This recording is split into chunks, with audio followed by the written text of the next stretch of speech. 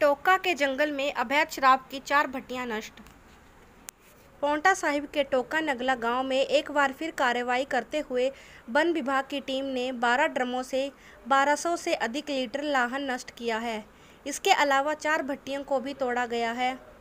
Young अधिकारी DFO Kunal अंग्रिश ने के नेतृत्व में अंतर्राज्यीय अवैध शराब माफिया पर लगातार कार्रवाई अधीनस्थ अधिकारी कर रहे हैं। इस माह में तीसरी बड़ी कार्रवाई की गई है। इस माह में लगभग चार हज़ार लीटर लाहन नष्ट भी किया गया है।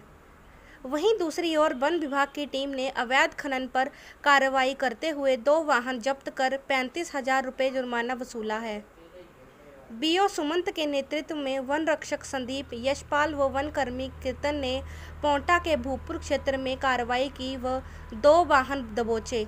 वहीं भट्टियों को नष्ट करने के लिए वन रक्षक रणवीर, रतन, अनिल व वन कर्मी हरिचंद ने कार्रवाई की।